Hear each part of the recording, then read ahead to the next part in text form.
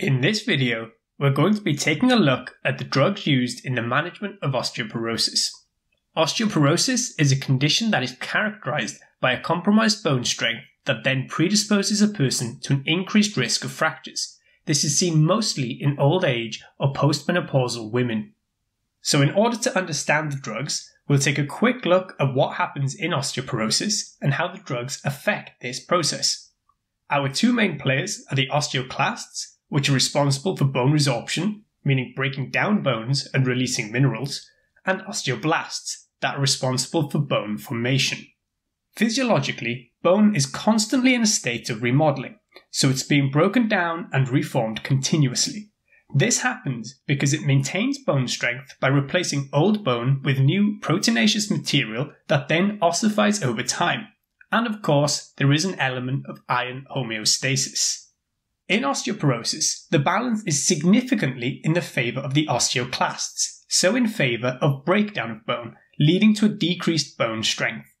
You can have primary osteoporosis, which happens post menopause as estrogen levels decrease and osteoclast activity increases because estrogen acts to inhibit osteoclasts.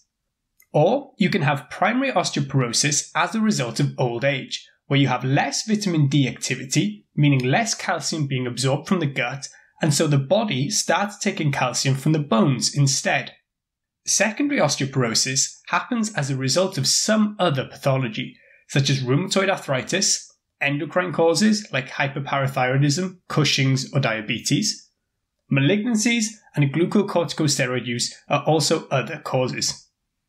Alright, so let's get on with the actual drugs themselves. A lot of them focus on reducing osteoclast activity, but I'll include some that increase bone formation at the end. First off, we have the bisphosphonates. They're often the first line therapy. Examples include alendronate and zoledronate. The way these work is by attaching to hydroxyapatite, a mineral form of calcium in bone. Then the osteoclasts will bind onto the bisphosphonate and is therefore unable to bind to the bony surface. Bisphosphonates are then able to enter the osteoclast and disrupt the enzymatic processes within the osteoclast, preventing bone resorption. They also play a role in osteoclast apoptosis and in reducing development of precursor osteoclasts.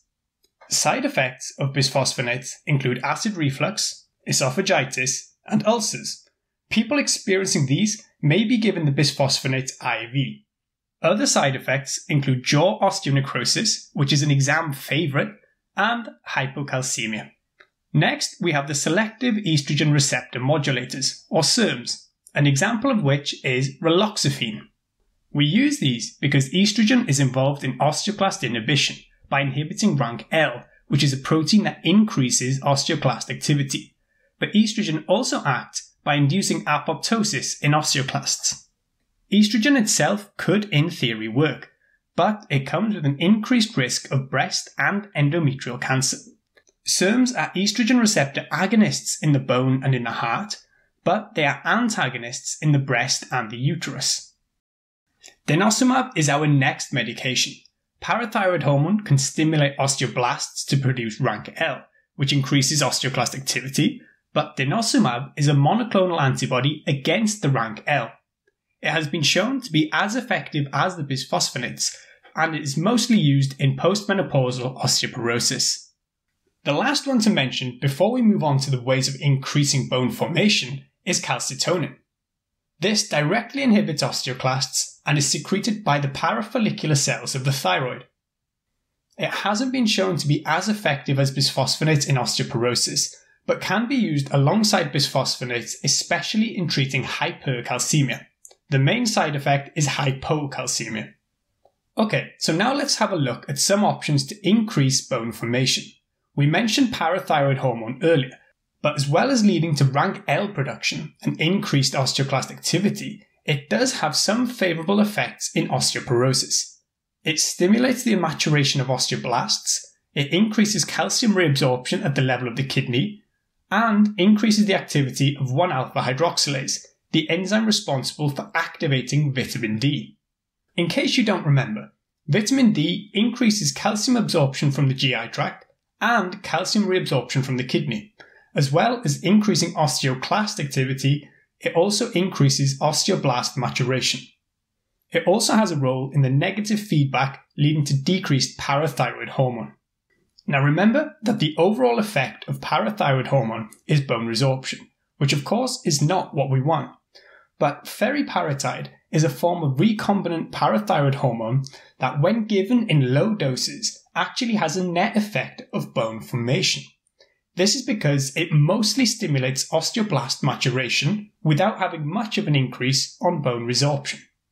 Finally, we have vitamin D itself, which is very commonly given to help support patients at risk of osteoporosis. Now, you may be thinking, why would you give vitamin D if it increases osteoclast activity? Well, similarly to parathyroid hormone, it does have effects on bone resorption and bone formation.